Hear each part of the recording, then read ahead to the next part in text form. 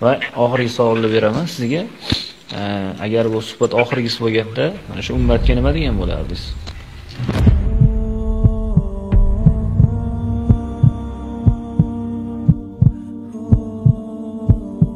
Juda ham e, ajoyib savol berdingiz.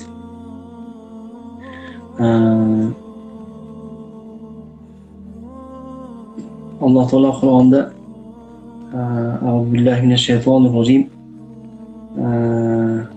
إن أكرمكم عند الله أتقاكم ya'ni sizlarni Allohning nazdida eng ulug'ingiz taqvolirog'ingiz deb Xudo marhamat qilgan agarchi o'zimizda mana shu narsa yo'q bo'lsa ham ya'ni taqvo o'zimizda yo'q bo'lsa ham man musulmonlarga mo'min musulmonlarga faqat taqvo qilishlikni Allohdan qo'rqishlikni buyurib qoladim chunki e, qiyomatda eng qiyomatni dahshatidan qiyomatda qo'rqinchidan e, xotirjam turadigan yagona odam bu faqat muttaqiy faqat ya'ni taqvodor inson.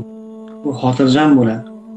Nimaga qo'rqay allohga taqvo qilgan bo'lsam harom ishlardan o'zimni tiygan bo'lsam man nimaga qo'rqishim kerak? Jahannamdan hisobdan deb oyog'i egilmay tiz cho'kmasdan tura oladigan yagona inson bu taqvodor.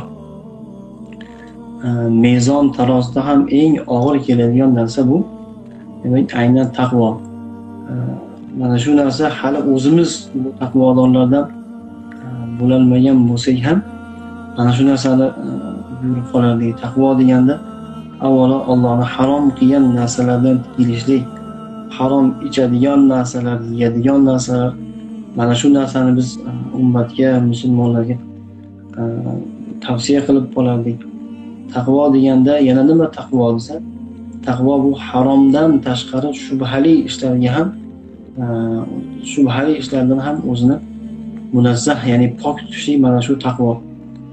Taqvo shunaqangi ulug' martabaki alloh taolo bekorga bandaga o'rgatmadi. Duo qilgin ey banda.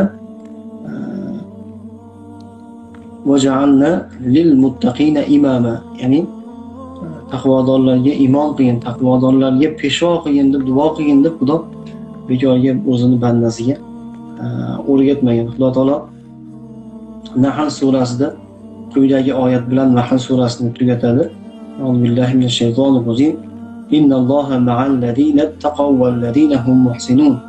Alloh taolo kim bilan birga? Olloh taqvodor ehson qiluvchi muhsin bandalar bilan taqvodor zotlar bilan birga deb alloh taolo mana shu oyat bilan e, tugatyapti.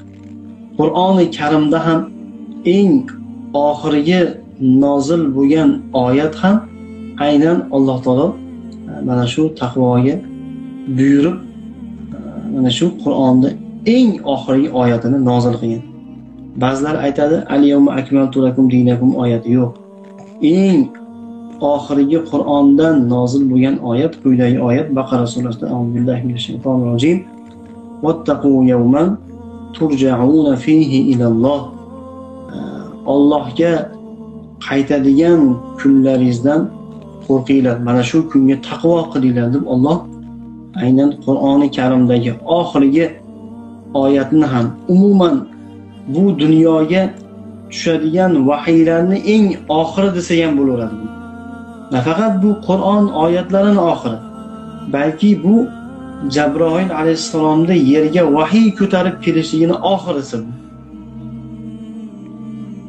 ollohni yerga bo'lgan murojaati, yerga kalomi inishini Qur'ondan oldin mana Tavrot, Injil, Zabur, sahifalar boshqa boshqa e, Muso alayhissalomga berilgan lavhlar bulardan e, boshlangan desak, oxiri Qur'on desak, Allohni yerga inadigan kalomlarini, Allohni e, demak bandaga qiladigan murojaatlarni oxirgisi ham taqvoga buyurib Alloh taolo tugatgan. Shuning uchun biz ham Allohning sunnatiga yurgan holatimizda agar farazan mabodo mana shu oxirgi murojaatimiz oxirgi efirimiz iloyim unaqa bo'lmasin bardavom bo'lsin farazan lekin mana shu oxirgi e, efirimiz bo'lganda biz faqat mo'min musulmonlarni taqvoga taqvoga va yana taqvoga buyurib qolar edik.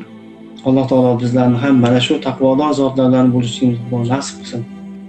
E, hammamiz ham ayniqsa shunaqangi fahish zamoni ayniqsa shunaqangi mm, gunoh qilishlik mm, oson bo'lgan zamonlarda ayniqsa shunaqangi paytlarda taqvoni mahkam ushlab o'tishimiz xudo nasib qilsin ilohiy muttaqiylardan qilsin.